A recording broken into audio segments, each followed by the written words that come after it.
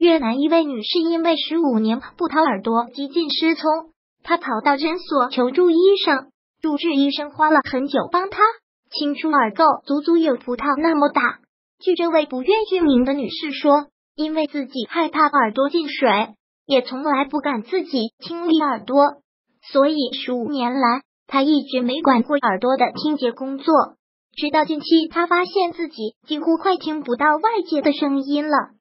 还伴随阵阵耳痛，于是他跑到诊所求助医生。Two 医生用专业的医疗器械查看后，简直震惊。最后花了大半天功夫，帮这位女士清除耳垢，垃圾物足足有一颗葡萄那么大。事后，Two 医生还教给这名女士正确的清除方式，并告诫其他人耳道卫生要时刻注意，不能马虎。长时间不清理还会引起疾病，严重的将导致耳痛。头晕甚至失聪。如果喜欢本视频，请分享并订阅本频道，别忘了按赞哦。